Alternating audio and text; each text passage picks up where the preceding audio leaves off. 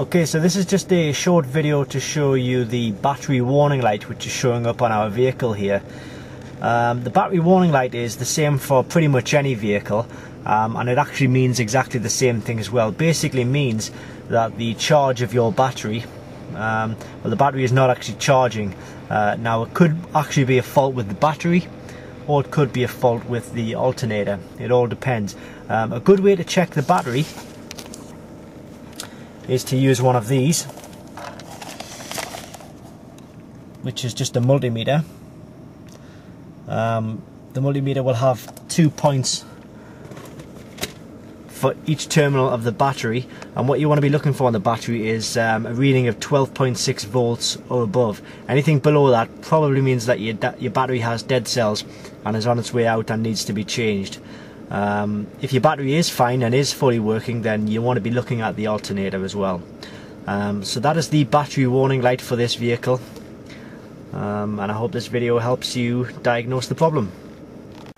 Okay guys what we're doing right now is um, showing you how to check the, uh, the current voltage on your battery um, give you an indication as to whether your battery is in good condition or, or in bad condition. Um, what we want to be looking at here while checking the battery is a voltage of 12.6 or above. Anything above that is a good healthy battery. Anything below that will go on the negative terminal, which is this one here, and the red will go on the positive terminal, which is that one there.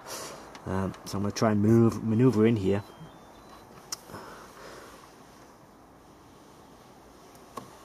So you can actually still, how am I going to do this?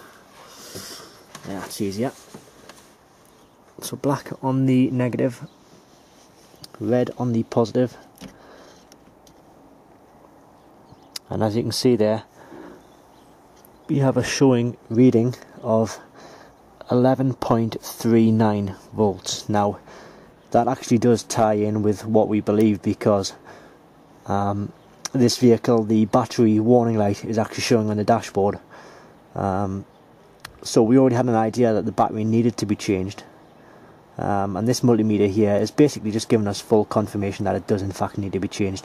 So we'll change the battery over and that will cure the dashboard light problem. Thanks for watching this Diagnostic World video.